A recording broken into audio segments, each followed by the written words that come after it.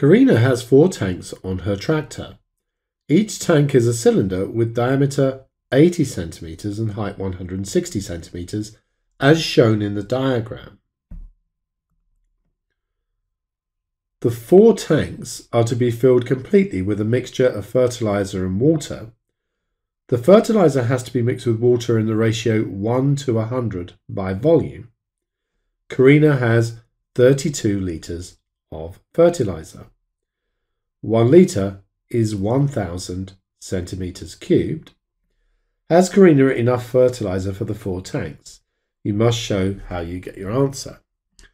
Well, 1 to 100, she has 32 litres, and that means that the amount of water she's going to need is 32 times 100, which is 3,200.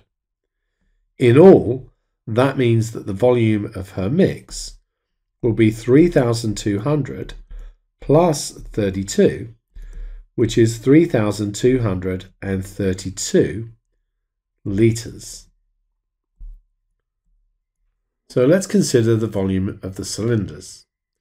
So the volume for a cylinder is pi r squared h.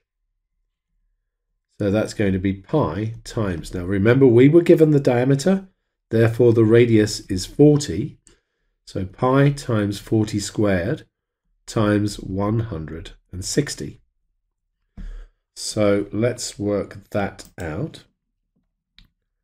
So we have pi times 40 squared times 160 and that gives us 804,248 if we go to the nearest cubic centimetre. One litre is 1,000 cubic centimetres, so we need to divide this by 1,000, and that would be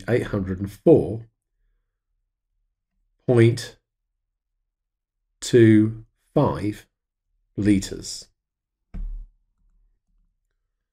I've just rounded there to two decimal places.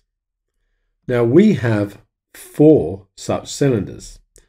So 4 times 804.25. So 4 times 804.25 gives us 3,217 litres.